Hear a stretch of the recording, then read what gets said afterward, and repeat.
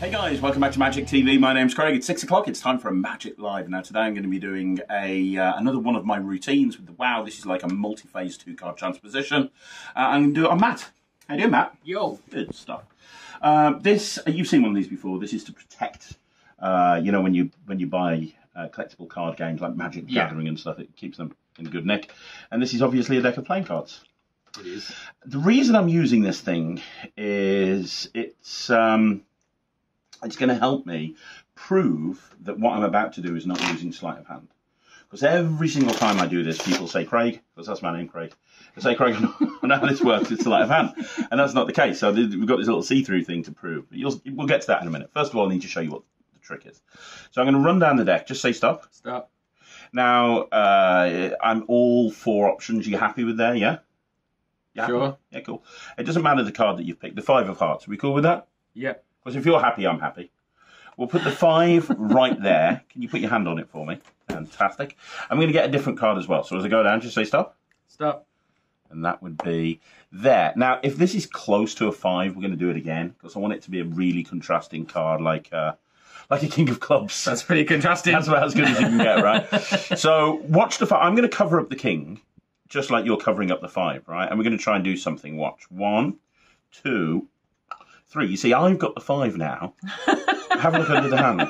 Seriously, have a look under the hand. You, you got the king, right?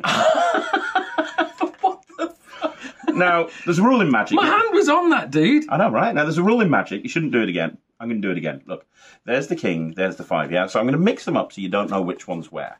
Mixy, mixy, mixy. A mixy, mixy, mixy. Mixy, mixy, mixy.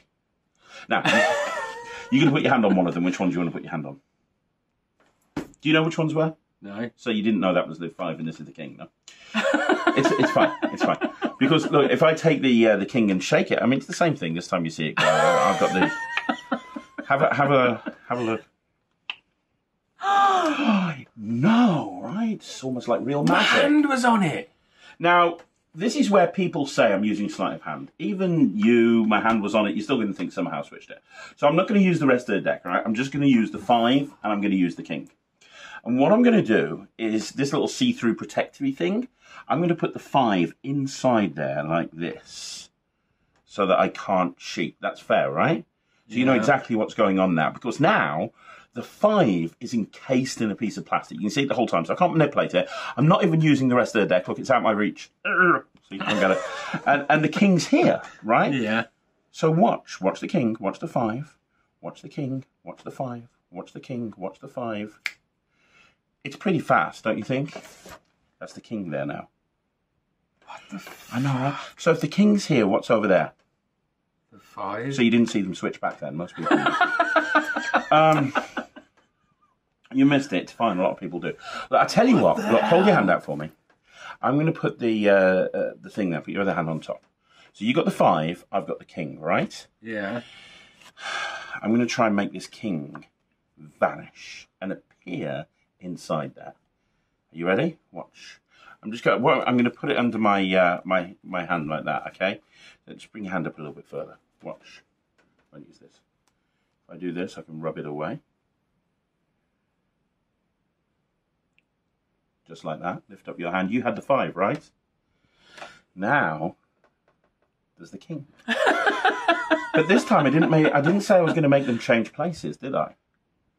This time I said I would make the the king go in there. I didn't say anything about something happening to the five because you see in here now I've actually got two cards.